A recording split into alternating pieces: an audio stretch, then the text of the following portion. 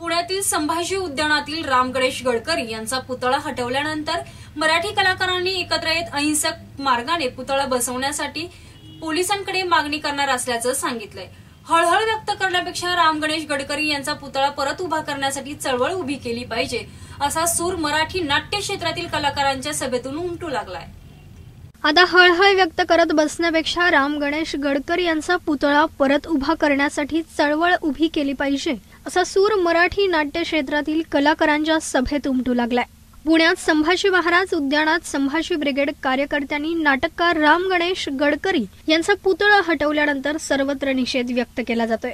विशेषतः मराठी नाट्य कलाकारांनी आता अहिंसेच्या मार्गाने जाण्याचा निर्णय घेतलाय. या कलाकारांनी एकत्र येत राम गणेश गडकरी यांचा पुतळा तयार केलाय. आणि कायद्यानुसार हा पुतळा बसवण्यासाठी पोलीस आयुक्त तसेच पालिका आयुक्त यांना विनंती करण्यात येणार आहे. या सभेला अभिनेते मोहन जोशी दिग्दर्शक अमोल पालेकर यांसह सतीश आळेकर मोहन आगाशे पुष्कर क्षोत्री ऋषिकेश जोशी शरद पोक्षे आणि महिला अभिनेत्या तसेच नाट्यप्रेमी उपस्थित होते.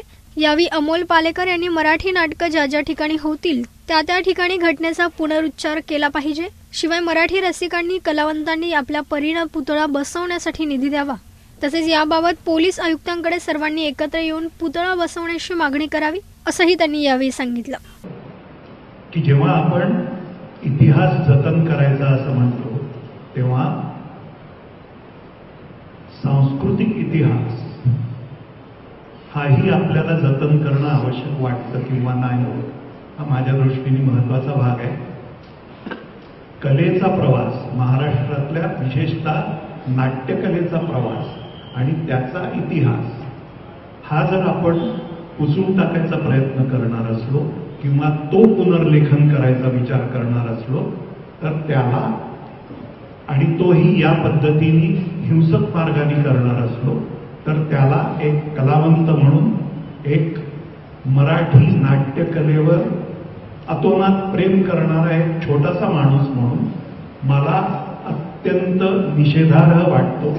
आणि आपण सगळ्यांनी आपला निषेध जितक्या जोरात जितक्या एकत्र येऊन आणि जितक्या अहिंसक मार्गाने आपण तो रजिस्टर करू शकू तेवढा करणं आवश्यक आहे.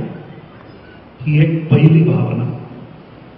दुसरी भावना अशी की यासाठी आपण आज सगळे एकत्र आलो आपण सगळ्यांनी मिळून नेमकं करायचं काय? निषेध व्यक्त करायचा इकडे भाषणं द्यायची आणि घरोघरी परत जायचं हे मला वाटत नाही की पुरेसं आहे. त्या दृष्टीने मग काय काय आपण करायला पाहिजे? माझ्या काही सूचना आहेत. आपण सगळ्यांनी त्याच्यावर आपापले विचार नक्कीच मांडावे आज आपल्याला जो कार्यक्रम हाती घेतला होता तो करायला पोलिसांनी परवानगी नाकारली. त्याच्यातली कायदेशीर बाजू अमुक तमुक हे सगळे आपण बाजूला ठेवून ओके पोलिसांनी परवानगी नाकारले. माझी पहिली सूचना अशी आहे की आपण सगळ्यांनी मिळून पोलीस कमिशनरकडे जाऊन त्याला आपला निषेध त्यांच्याकडे व्यक्त करायचा. त्यांना एक निवेदन द्यायचं आणि ही परवानगी का नाकारली याबद्दलही निषेध व्यक्त करायचा. हे पहिलं काम आपण करूया असं मला वाटतं. त्याच्याच अनुषंगाने त्याच्या पुढचं पाऊल म्हणून आम्हाला संभाजी उद्यानात जिथे हा पुतळा होता तो पुतळा हलवला गेला त्याचा विध्वंस केला गेला. तिथे आम्हाला जायची परवानगी मिळायला हवी. ती परवानगी आपण द्यावी.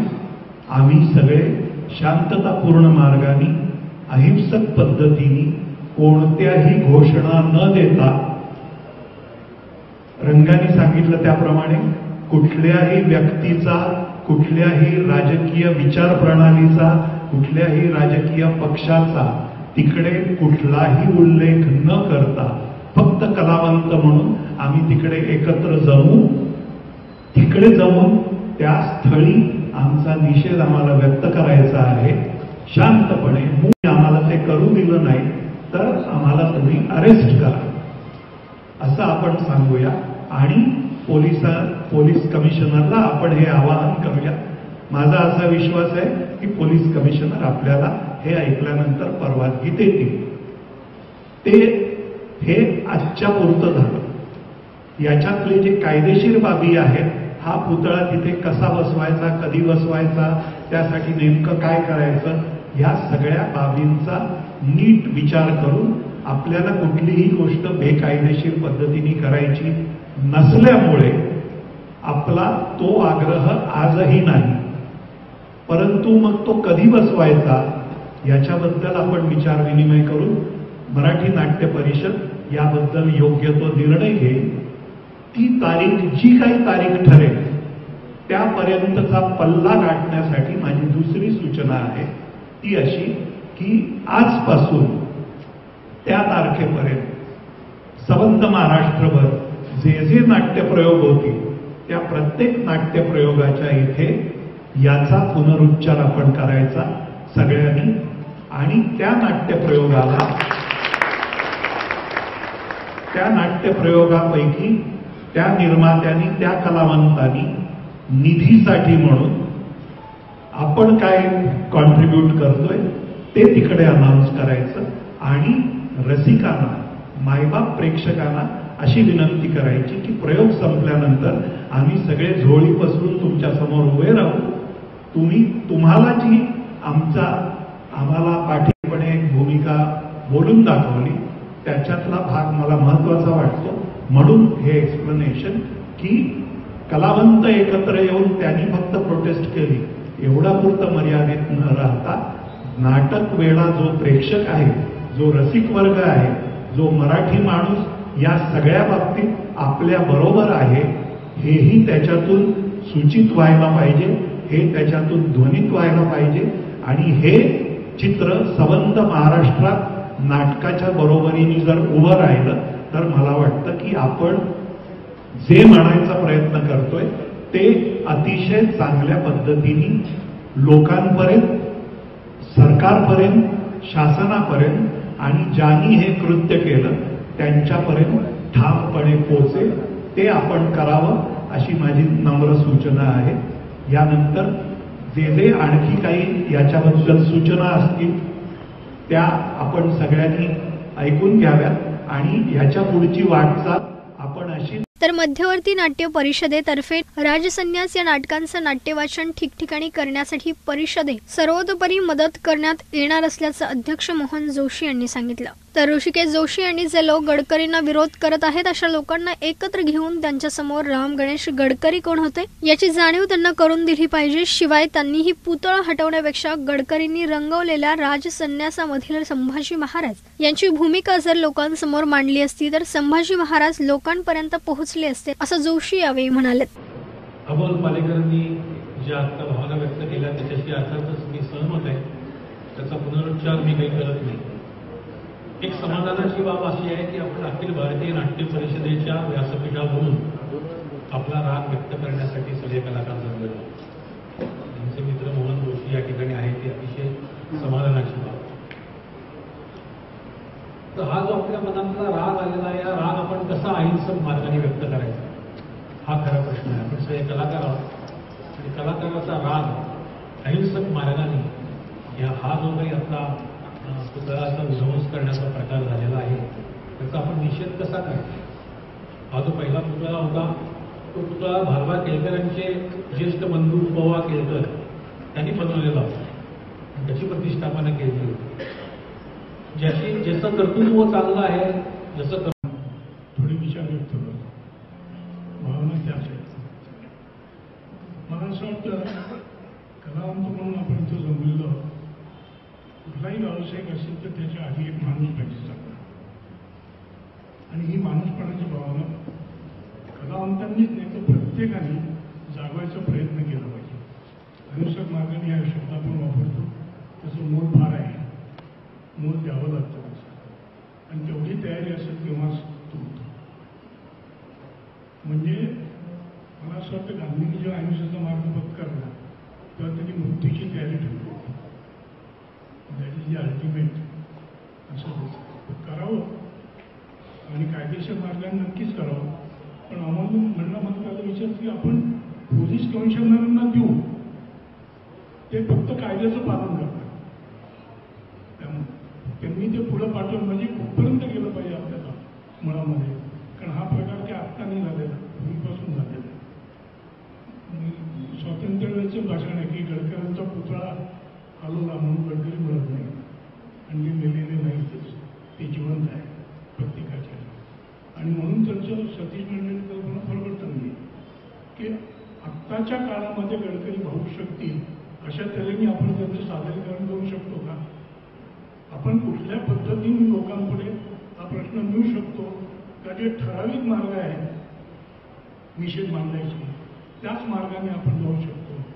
याचा विचार करून काही ते वेगळे मार्ग आपण त्यातला कलाकार आणि कलाकाराच्या बरोबरचा माणूस हा इतरांमधला जागा करण्यासाठी. आणि हे मुळातच घटक वेगवेगळे आहेत. कलाकार राजकीय कारण काय प्रत्येकच याला राजकारण आणि आम्ही खूप वर्षे बघत आलेलो आहोत. तुम्ही बघत आलेल्या कशा पद्धतीने झाले ते. म्हणजे इतिहास इतिहास आहे का म्हणायचं? कारण नाही नाटकाच्या बाबतीत परंतु कोणाचे जे गैरसमज असतील ते दूर करणं आपलं काम. असे गैरसमज या या गोष्टी घडवतात. माझं म्हणणं आपण त्याला उत्तर दिलं पाहिजे. आणि अदिवसात मार्गाने दिलं पाहिजे. शांततेने दिलं पाहिजे. कायद्यानुसार दिलं पाहिजे. कायद्याचं पालन कोणी करू नका असं नाही. कोणी मोडू नका कायदा असं माझी इच्छा आहे. आज आपण त्याच पद्धतीनं हा कार्यक्रम करतो आहोत.